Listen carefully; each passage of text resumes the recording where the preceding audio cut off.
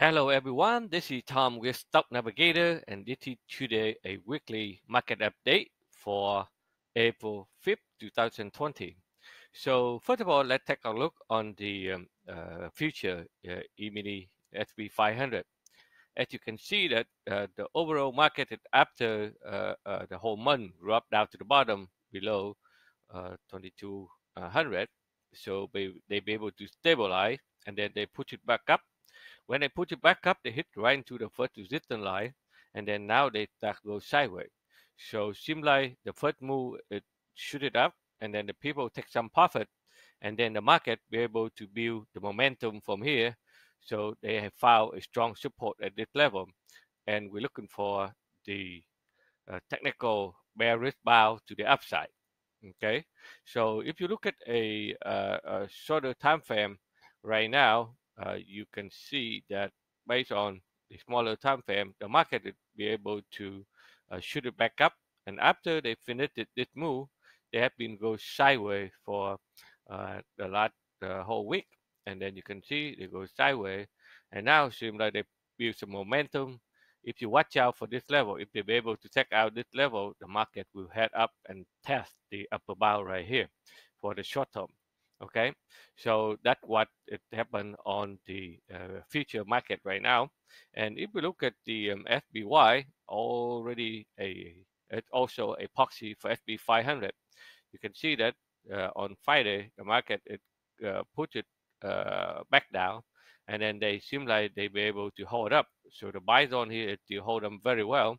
So if they be able to break this level here so uh, we will continue to go up for another uh, bear market rebound.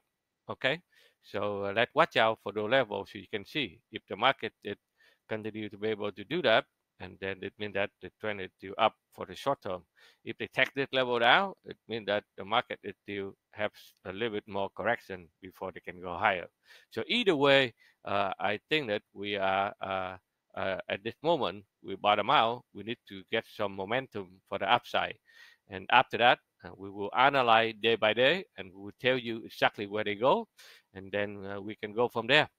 So it's the same thing for uh, uh, uh, the Dow also, and you can look at for the Dow. The Dow is very similar, so we are uh, watch out, very careful at this level. If overnight the future Dow be able to break out the high high, they will get out of the sideways correction here. That's the first side that they will go up.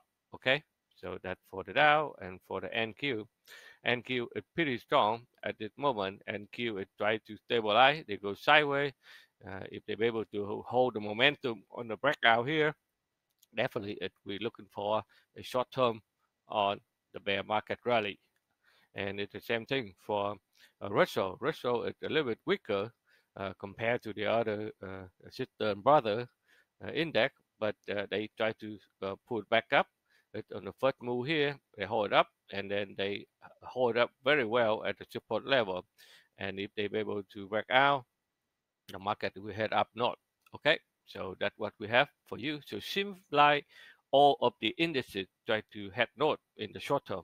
So I know a lot of uh, people out there are still very bearish.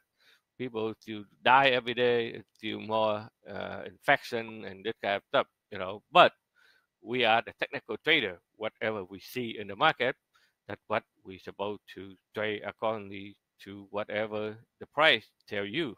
Okay, it's not because of new. So that's what I just want to show you. And the goal at this moment is try to put it back up, but they are also losing momentum here also. So right now, uh, even though they pull up here, but it's very risky uh, for the gold to go higher. Okay, and the oil the oil after they run up uh, last week. Okay, so they finished the whole move here, and uh, they hit to the top, right into the resistance, and then after that, and now they will pull back. Okay, to this area first before they can find a way. Okay, to go higher because the uh, Russia. Uh, Saudi Arab and US they're going to have a meeting on the April 8th.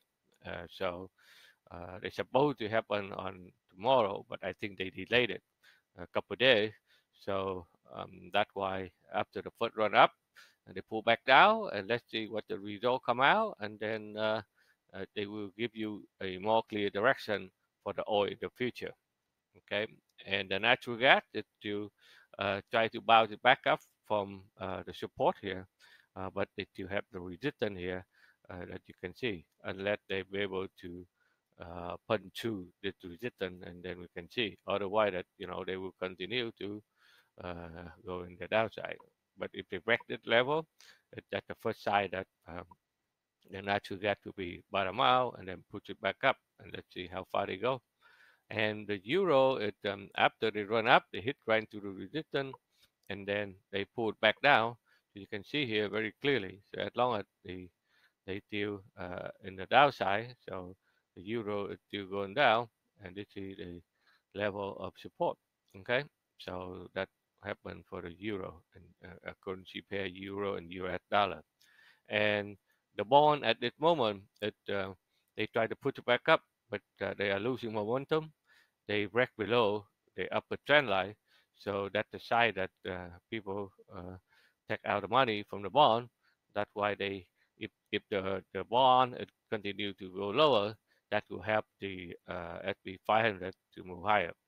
And one more thing I'd like to show you on the VIX, that the volatility uh, volatility uh, index between the fear and the re.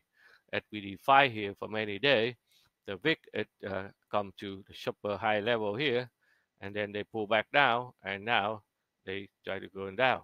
So seems like the market it the people a, a little bit less fear right now, so they're a little bit calmer. So definitely, if, if the wicket come down, they also uh, that's another indicator that will show you that the market they're going to go uh, to be able to put it back up.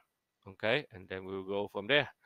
So this is what I have for you uh, on this week market forecast. And then every day we try to uh, analyze the market and give you more detail where the market is heading to. Uh, and a lot of talk at, uh, uh, like the airline talk on the manufacturer on the airline. I think that today at the President Trump, now that he's going to involve with the airline, so that maybe push up a lot of airline stock. So let's see how things going. Okay, so this is what I have for you this week, and then uh, uh, day by day, and I'll try to uh, analyze the market and give you more update and help you enjoy. If you like what we are doing here, please subscribe to our YouTube channel by click the subscribe button below, so that every time I have a new post, I will uh, let you know, so that you can uh, stay home and watch it and to see where the market heading to and hopefully you can learn something from us and uh, make some money also. And if you want to learn more about our method, about our strategy, please check out our website at stocknavigator.com for more information. Again, thank you and for watching and stay home, stay safe and stay healthy. We will see you in the next video. Thank you.